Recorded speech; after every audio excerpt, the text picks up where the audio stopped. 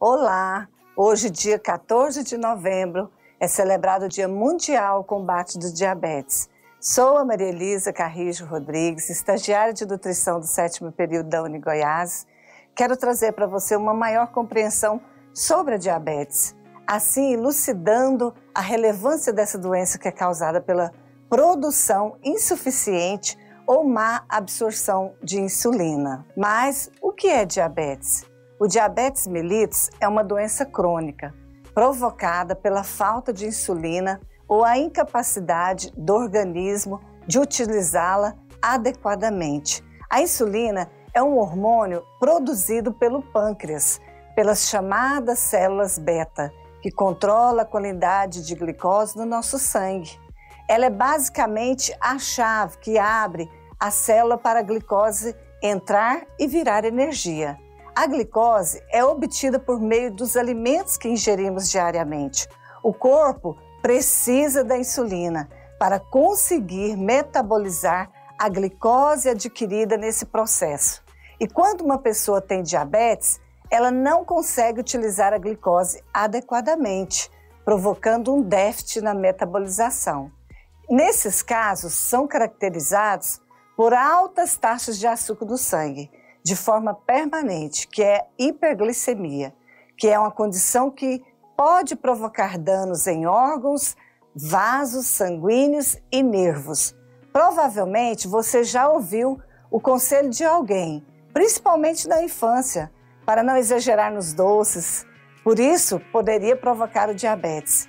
A doença sempre esteve atrelada ao consumo excessivo de açúcar, que é algo que faz algum sentido, sim, mas esse não é o único fator determinante para o surgimento dela. Existem quatro tipos de diabetes, que é a diabetes tipo 1, tipo 2, diabetes gestacional e pré-diabetes. A diabetes tipo 1, essa forma de diabetes é, um, é resultado da destruição das células betas pancreáticas, que são as produtoras de, de insulina por um processo imunológico, ou seja, o próprio sistema imunológico da pessoa ataca as células betas, levando à deficiência da insulina. Já a diabetes tipo 2 está incluída a grande maioria dos, dos casos, cerca de 90% dos pacientes. A insulina é produzida pelas células betas pancreáticas, porém a sua ação está dificultada, caracterizando um quadro de resistência insulínica. Isso vai levar a um aumento de produção de insulina para tentar manter a glicose em níveis normais. Quando isso não é possível, surge o diabetes tipo 2. Já a diabetes gestacional é decorrente das mudanças hormonais, podem ser transitórios ou não. Ao término da gravidez, a paciente deve ser investigada e acompanhada. O pâncreas, consequentemente, aumenta a produção de insulina para compensar. Na maioria das vezes, ele é detectado no terceiro trimestre da gravidez, através de um teste de sobrecarga de glicose. Já a pré-diabetes é uma condição caracterizada pelo nível de açúcar no sangue acima do normal mas não é o suficiente para ser diagnosticado como diabetes. Serve de alerta, pois indica um risco de doença se desenvolver.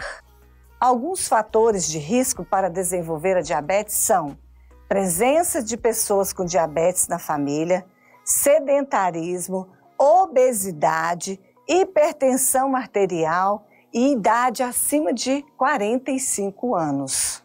Já o tratamento do diabetes pode ser feito de duas formas, tanto com insulina quanto a medicação oral, além de uma alimentação baseada em alimentos in natura e minimamente processados, evitando o consumo de ultraprocessados que são ricos em gorduras, sal, açúcar, aditivos químicos ter uma vida fisicamente ativa e uma alimentação saudável é fundamental, tanto para prevenir quanto para controlar o diabetes. A Unigoiases é completa e estamos com vestibular aberto. Ensino com qualidade é aqui.